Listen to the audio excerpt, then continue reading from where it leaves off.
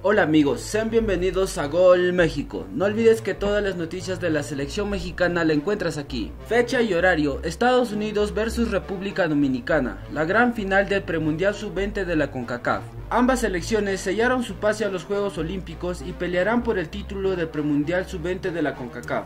Estados Unidos y la sorprendente República Dominicana sellaron su pase a los Juegos Olímpicos de París y ahora pelearán por el título del premundial sub-20 de la CONCACAF. Los estadounidenses sellaron su pase tras golear 3 a 0 a Honduras. Y en el caso de los dominicanos, acabaron con la ilusión de Guatemala tras vencerlos en tanda de penales con marcador de 4 a 2. Ahora Estados Unidos y República Dominicana se enfrentarán en la gran final de Premundial Sub-20 de la CONCACAF y el ganador podrá presumir ser campeón de la competición que se ha disputado en terreno hondureño.